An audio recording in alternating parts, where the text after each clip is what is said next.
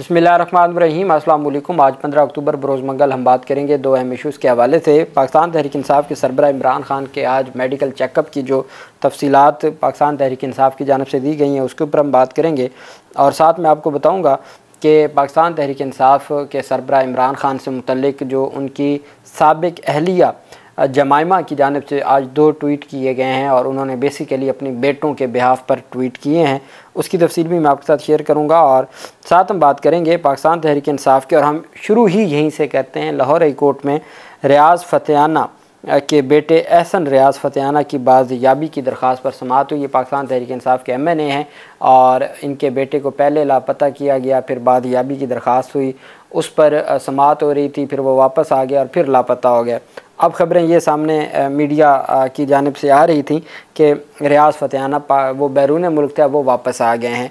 और चूँकि उनका जो, उनके बेटे को लापता किया गया था लाहौर हाई कोर्ट ने सबक एम पी एहसान रियाज एहसन रियाज फ़तेहाना की बादियाबी के मतलब दरख्वास्त पर शहर में सेफ़ सिटी अथॉरिटी के फ़ाल और ख़राब कैमरों के हवाले से रिपोर्ट तलब कर ली। अदालत ने एस पी इन्वेस्टिगेशन कैंट को तफ्तीश मुकम्मल करके इक्कीस अक्टूबर को रिपोर्ट पेश करने का हुक्म दिया, चूँकि मुकदमा दर्ज हो चुका है उनके अगवा का। जस्टिस अली साहब बाजवा ने एहसन रियाज की वालदा आशफा रियाज की दरख्वास्त पर समात की। S P investigation cantt Bushra Nisar ने कारकर्दगी रिपोर्ट पेश की। जस्टिस अली दिया बाजवा ने एस पी कैंट से मुकालमा करते हुए कहा कि इन्वेस्टिगेशन में कोई पता चला। एस पी इन्वेस्टिगेशन ने जवाब दिया कि मुगवी की याबी के लिए भरपूर कोशिश कर रहे हैं। हमने लोकल कैमरों की मदद से शवाहद इकट्ठे किए। गलियों के अंदर तक गए। एक से दो पॉइंट्स पर फेस शनाख्त के शवाहद मिले हैं। शवाहद की रोशनी में जियो फेंसिंग और नादरा को फुटेज भी दी है। जस्टिस अली दिया बाजवा ने एस पी इन्वेस्टिगेशन कैंट से इस्तफसार किया कि लोकल कैमरों से क्या मुराद है? क्या सेफ़ सिटी के कैमरे काम नहीं कर रहे? एस पी इन्वेस्टिगेशन ने जवाब दिया कि इस इलाका में सेफ़ सिटी का एक ही कैमरा है जो काम नहीं कर रहा। जस्टिस अली जया बाजवा ने रिमार्क किया, क्यों काम नहीं कर रहा? सेफ़ सिटी अथॉरिटी वालों के दावे तो बड़े बड़े हैं। Assistant attorney general Mohsin Bhatti ने जवाब दिया कि चलान वाले कैमरे तो काम कर रहे हैं। जस्टिस अली जया ने असिस्टेंट अटॉर्नी जनरल से मुकालमा करते हुए कहा यह तो आपकी ज़ाती शिकायत हो सकती है। फाजल जज ने ला अफसर के बारे में रिमार्क्स पर अदालत में कहका लगा। फाजल जज ने वफाकी हुकूमत के ला अफसर से इस्तफसार किया। बताएँ वजारत दाखिला की क्या रिपोर्ट है? असिस्टेंट अटॉर्नी जनरल ने जवाब दिया कि वजारत दाखिला की रिपोर्ट के मुताबिक एहसन रियाज किसी एजेंसी की तहवील में नहीं है। अदालत ने एस पी इन्वेस्टिगेशन को तफ्तीश मुकम्मल करने की हदायत करते हुए केस की समात इक्कीस अक्टूबर तक मुलतवी कर दी और तब तक अगर तो वो आ, जो आइनी तरमीम के हक़ में वोट दे देते हैं तो वो वैसे ही बाजियाब हो जाएँगे। नहीं तो फिर मामला किसी और तरफ़ चला जाएगा। दूसरी तरफ़ पंजाब हुकूमत की जानब से एक फ़ैक्ट फाइंडिंग जो कमेटी है, वो बनाई गई थी और आज पंजाब असम्बली में एक कमेटी बनाई गई है। जो मुबैना तौर पर एक प्राइवेट कॉलेज का नाम आ रहा था, पंजाब कॉलेज का तो उससे मुतलिक पेशरफ सामने आई है। अपोजिशन रुकन कर्नल, रिटायर्ड शुएब और उस्मा बुखारी के दरमियान आज पंजाब असम्बली के अजलास में तलख कलामी भी हुई, जबकि डिप्टी स्पीकर अपोजिशन अरकान को खामोश करवाते रहे। कर्नल रिटायर्ड शुएब और राना शहबाज ने प्राइवेट कॉलेज की तलबा के साथ रेप के मामले पर बात करते हुए कहा कि इस वाक़े पर ड्रामा और एसपी कह रही हैं, कोई रेप नहीं हुआ, जबकि पंजाब असम्बली के बाहर पुलिस बच्चियों पर वाटर कैनन और लाठी चार्ज कर रही है। ऐवान में उज़मा बुखारी ने प्राइवेट कॉलेज में होने वाले मुबैना वाक़े पर अपोजिशन की जानब से रेप का लफ्ज़ इस्तेमाल करने पर तैश में आ गई और कहा कि जिस बच्ची का रेप पर नाम लिया जा रहा है, उसकी तीन बहनें हैं और उनकी शादियाँ हुई होनी हैं। वो सीढ़ियों से गिरी है, जिसका तमाशा बनाया गया है। अब पहले तो ये भी नहीं था, अब तो वो इतना भी मान लिया गया है कि सीढ़ियों से गिरी हैं। उन्होंने कहा, पीटीआई के लोग इस्लामाबाद नहीं जा सके तो अब लाहौर में फसाद बरपा चाहते हैं। उनका कहना था कि मरीम नवाज़ ने मामले पर फैक्ट फाइंडिंग कमेटी बनाई है, इस वजह से 48 घंटों में रिपोर्ट आएगी। पंजाब असम्बली में भी एक कमेटी बना दी गई है और पंजाब असम्बली में अब ये जो कमेटी है वो इस सारे मामले को देखेगी।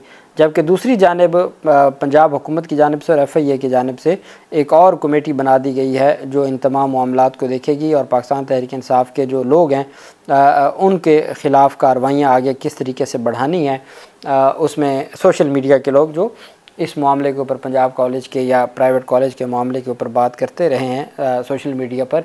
अब एक सात रुकनी एफ़ आई ए की साइबर क्राइम की आ, इस तफ्तीश के लिए और ये कहा यह जा रहा है कि भाई ये जो कॉलेज है, उसकी जानब से ये दरख्वास्त दायर की गई थी कि जी हमारे ख़िलाफ़ एक मुहिम चलाई गई है और इसके ऊपर कार्रवाई की जाए। तो उस पर भी एक सात रुकनी कमेटी बन गई है। दूसरी तरफ़ जो अहम पेशरफ सामने आई है, वो पुलिस हुकाम और के पी पुलिस के हवाले से जो तरमीम थी, वो मुसवदा अब तैयार कर लिया गया है। और ड्राफ्ट पुलिस हुकाम और कानूनी माहरीन की मशावरत से तैयार किया गया है। ड्राफ्ट के मतन के मुताबिक पुलिस एक्ट सेक्शन नौ के तहत वज़ी अली से अख्तियार वापस लिया गया है और ये काबीना को दिया गया है। R P Os D P Os की तकरियाँ और तबादले समरी के ज़रिए किए जाएँगे। वो हुकूमत के ही पास अख्तियार है। अब वज़ी अली अकेले के पास नहीं है। ड्राफ्ट के मुताबिक additional I जीज़ D I Gs और internal posting transfer I G P का अख्तियार होगा। पब्लिक सर्विस कमीशन में एम एन एज़ और एम पी एस भी शामिल होंगे, जिससे आवाम को रिलीफ मिलेगा। बिल में पब्लिक सेफ्टी कमीशन में तादाद तीन से बढ़ा के पाँच, जबकि दौरानिया तीन से चार साल किया गया। मतन के मुताबिक सेफ्टी कमीशन के आज़ाद मेंबर को हुकूमत नामजद करेगी। बाकी मेंबरान पब्लिक सर्विस कमीशन के चेयरमैन और सूबाई मोतसिब नामजद करेंगे। कंप्लेंट अथॉरिटी सेंटर की बजाय अब रीजनल सतह पर होंगे। कंप्लेंट अथॉरिटी सेंटर के पाँच मेंबरान होंगे। नया ड्राफ्ट के मुताबिक पुलिस इन्वेस्टिगेशन को दोबारा बहाल कर दिया गया, जबकि ऑपरेशन का पूरा सिस्टम पहले की तरह पुलिस के मतहत होगा। नए बिल को दोबारा काबीना से मंजूरी के बाद ऐवान में पेश किया जाएगा। पहले भी कुछ तरमीम सामने आई थी जिसके ऊपर तहफ़ात का इजहार किया गया था ब्यूरोक्रेसी और पुलिस की जानब से। अब उसमें कुछ तब्दीलियाँ करके समरी की तरफ़ ले गए हैं कि समरी मंजूर होगी और इस तरीके से ट्रांसफ़र और तबादले होंगे। तो अल्टीमेट के पी जो हुकूमत है, वो उसके पास ही अख्तियार होंगे। पहला एक ट्वीट किया गया है और इस ट्वीट में इमरान ख़ान की सबका अहलिया और इमरान ख़ान के बच्चों की बेटों की वालदा जमायमा ख़ान ने सोशल मीडिया पर इमरान खान की रिहाई के लिए ट्वीट किया है। और ये पहली दफ़ा उन्होंने ऐसा कोई ट्वीट किया है, जिसमें कहा गया है कि गुजशत चंद हफ़्तों के दौरान जेल में कैद मेरे बेटों के बाप इमरान खान के इलाज के हवाले से संगीन और काबिल तशवीश डिवेलपमेंट्स सामने आई हैं। सबक वज़ी अजम इमरान खान की सबका अहलिया का ट्वीट में कहना है कि पाकिस्तानी हुकाम ने इमरान खान के अहल खाना और वकला समेत तमाम लोगों को इमरान खान से मिलने से रोक दिया है। पाकिस्तानी हुकाम ने इमरान खान के अहल खान और वकला समेत तमाम लोगों को इमरान खान से मिलने से रोक दिया है। पाकिस्तानी हुकाम ने इमरान खान के ख़िलाफ़ तमाम मुकदमात की समातें भी मौखर कर दी हैं। पाकिस्तानी हुकाम ने इमरान खान के ख़िलाफ़ तमाम मुकदमात की समातें मौखर करते हुए जेल में मुलाकातें बंद करने के साथ साथ अदालती हुक्मदूली करते हुए बेटों सलमान और कासिम के साथ हफ़्ता वार फ़ोन पर बात करने आने का सिलसिला भी रोक दिया है। सलमान और कासिम बरतानवी शहरी हैं और लंदन में रहते हैं। उन्हें 10 सितंबर को बात करने से रोका गया है। हमें रिपोर्ट्स मौसू हुई हैं कि हुकाम ने इमरान खान के सेल की लाइट्स और बिजली भी बंद कर दी है और इमरान खान को किसी भी वक्त अपने सेल से बाहर जाने की भी इजाज़त नहीं दी जा रही, वॉक की भी इजाज़त नहीं दी जा रही। जेल के बावरची को छुट्टी पर भेज दिया गया है। इमरान खान अब बिल्कुल कैद तनहाई और अंधेरे में हैं और उनका बाहर की दुनिया से कोई रबता नहीं है। उनके वकला को इमरान खान की सेहत और हिफाजत के हवाले से शदीद तशवीश है। ये कार्रवाई इमरान खान के ख़ानदान के साथ साथ उनकी पार्टी के अरकान, उनके हामियों समेत तमाम सियासी मुखालफी को खामोश कराने और निशाना बनाने के तनाजर में की जा रही हैं। इमरान खान के भांजे आम शहरी हसान न्याजी अगस्त दो हज़ार तेईस से फौजी हिरासत में है। हाल ही में इमरान खान की दो बहन वलीमा खान और उज़मा खान को इसलिए गिरफ़्तार किया गया कि वो इमरान खान की तरफ़ से बात करती थी और उन्होंने पुरमन एहतजाज किया था। इन दोनों को जेल में रखा गया है कि हालाँकि इन्होंने कैद में रहने, रखने का कोई जवाज़ नहीं है। इस साल जून में अकवा मुतहदा के वर्किंग ग्रुप बरए आर्बिट्रेरी डिटेंशन बिला जवाज़ हिरासत ने कहा था कि इमरान खान को गैर कानूनी तौर पर और बिला जवाज़ हिरासत में रखा गया है। वर्किंग ग्रुप ने इमरान खान की फौरी रिहाई का मुतालबा किया था। फौरी नौीयत के इस मामले में हम इमरान खान और उनकी बहनों और उनके भांजे की रिहाई का मुतालबा करते हैं और ये मुतालबा करते हैं कि इमरान खान की बेटों का रबता करवाया जाए ताकि बेटों को फौरी तौर पर यह यकीन हो सके कि उनके वाले ठीक हैं और उनके साथ कोई गलत सलूक नहीं किया जा रहा।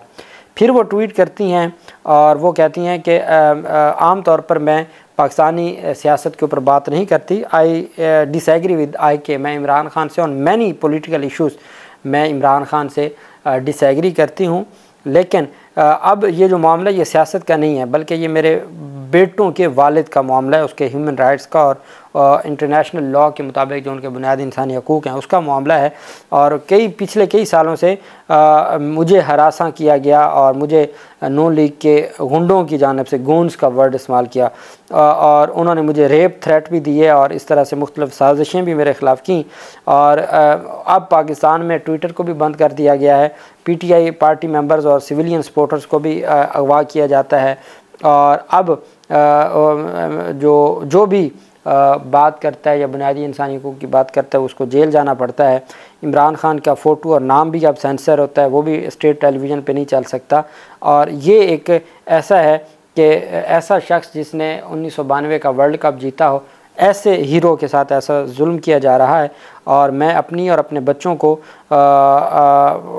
अवेयरनेस देती हूँ about what is happening in Pakistan please in any way that you can thank you वो कहती हैं कि मैं हर सूरत पाकिस्तान के हवाले से अपने बच्चों को बताती रहती हूँ, लेकिन ये जो इस वक्त हालात हैं, इसके ऊपर हमें स्टैंड लेना होगा और जमायमा ख़ान ने कहा कि मेहरबानी करके मेरे ट्वीट को रीट्वीट करें और मेरी आवाज़ का हिस्सा बने। फिर उसके ऊपर बहुत सारे इंटरनेशनल ह्यूमन राइट्स के लोगों ने भी लिखना शुरू कर दिया और मिलियंस जो हैं वो व्यूज़ आए हैं जमाइमा के इस ट्वीट पर और अभी तक ये सिलसिला जारी है। दूसरी तरफ़ पाकिस्तान तहरीक इंसाफ के जो चेयरमैन हैं, बैरिस्टर गोहर अली खान, वो कहते हैं कि टुडे एट अबाउट चार P M two doctors and E N T specialist and a medical specialist visited Khan Sahab at Adiala jail अब वो थे पिम्स के ही। जो डॉक्टर आसिम हैं, वो बैरून मुल्क थे, वो कल वापस आए। वो एयरपोर्ट से सीधा अडियाला जेल गए, उनको मुलाकात नहीं करने दी गई। आज भी वो कई घंटे वहाँ उनको रखा गया, बिठाया गया और उसके बाद वो वापस चले गए। उनकी मुलाकात नहीं हुई। लेकिन दो डॉक्टर्स हैं जो पिम्स के हैं, एक जो उनके कोई कान का इशू है और एक दूसरे डॉक्टर हैं जिन्होंने उनका चेकअप किया है। We were informed a while ago that अल्हम्दुलिल्लाह खान साहब इज़ इन गुड हेल्थ सरकारी, ज़रा नहीं बताया होगा ना, अब ये बरिस्टर गौर अली ख़ान की ट्वीट भी सरकारी टाइप ही लगती है। कहते हैं कि हमें बताया गया कि अलहमदिल्ला खान साहब की सेहत अब ठीक है और वो एक घंटा डेली एक्सरसाइज करते हैं। We shall get medical reports from them soon हम बहुत जल्द उनसे मेडिकल रिपोर्ट भी हमें मिल जाएँगी। अब चूँकि ये इस्लामाबाद हाई कोर्ट ने भी हुक्म दिया था कि उनका मेडिकल चेकअप करवाया जाए और रिपोर्ट्स दी जाएँ तो ये मेरे ख्याल में वही रूटीन वाला चेकअप हो सकता है। I express my gratitude to every worker and supporter of P T I who were concern about Khan Sahab health मैं उनका शुक्रिया अदा करता हूँ जो इमरान खान की सेहत के बारे में जो परेशान थे और अल्लाह आप सब पे करम करे। ये, जिसको पाकिस्तान तहरीक इंसाफ के कारकुनान ने भी और इमरान खान की बहन जो नौरीन लियाजी हैं, उन्होंने भी और पी टी आई की जो क़्यादत है, उन्होंने मुस्तरद किया है कि ये सरकारी टाइप ट्वीट है और हमें उस वक्त तक तसली नहीं होगी जब तक इमरान खान के हवाले से हमें ख़ुद कुछ तफसीत नहीं मिलती। ये सारी की सारी सूरत हाल है। अल्लाह पाक पाकिस्तान का हमें मुनासर हो। बहुत शुक्रिया। अल्लाह हाफिज़। पाकिस्तान जिंदाबाद।